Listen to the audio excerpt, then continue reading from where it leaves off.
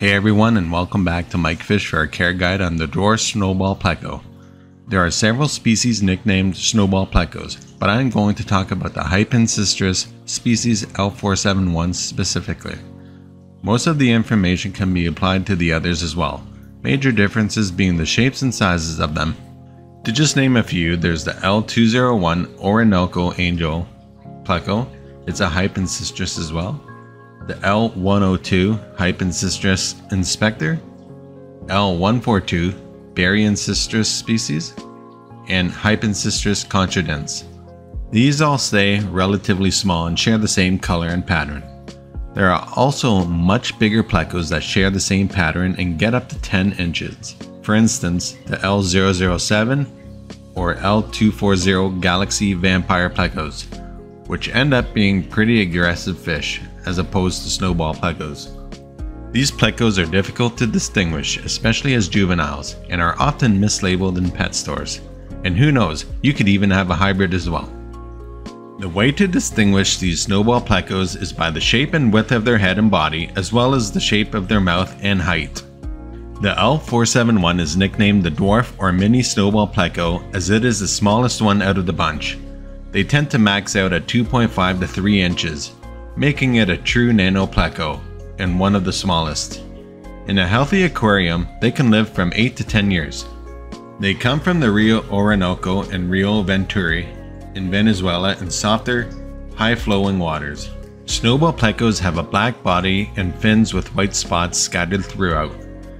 Sometimes the size of the spots vary from individuals. The L471 is more robust than the other snowball plecos with a wider and rounder body. Of course, they share the same pleco characteristics with a flat body with a mouth on the bottom and eyes on top. Dwarf snowball plecos are a hardy and peaceful fish. They are nocturnal, so they are way more active at night than they are during the day. I've had mine for 5 years and it is well established in my tank and with my feeding times, so it has become pretty active during the day as well. They are not an effective algae eater, and they will also leave plants alone. That said, make sure you are feeding it a high protein diet and have a couple pieces of driftwood in the aquarium as well for it to graze on. When it comes to setting up their aquarium, I like to try to replicate their native habitat as much as possible. This includes soft, clean water with high flow and high oxygen. I would go minimum 20 gallon long for these plecos. As a bottom dwelling scavenger, they prefer more surface area in a long tank over a tall tank. With minimum space on the bottom, they can also get territorial with other plecos and bottom dwellers. Their aquarium should have sand with plenty of rockwork, caves, and driftwood. Temperature should be between 75 and 82 degrees Fahrenheit or 24 to 28 degrees Celsius with a pH between 5.5 and 7.5 and a KH between 6 and 10. Appropriate tank mates for the snowball plecos would be your typical peaceful community fish, as well as fish that don't get too large or territorial for bottom space. Rasboras or some tetras would be great. However, I would avoid the fin nipping species as they will damage the great looking fins on this fish and also stress out the pleco. Regardless of what you have in the tank with them, make sure they are getting fed as they are easily outcompeted for food. Plecos are pretty slow and docile when it comes to feeding, and more often than not, are not being fed adequately. This species in particular is an omnivore, but it leans more towards a carnivorous diet than other plecos.